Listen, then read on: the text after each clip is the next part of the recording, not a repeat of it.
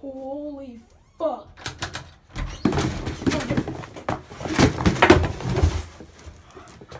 Don't steal my shoes.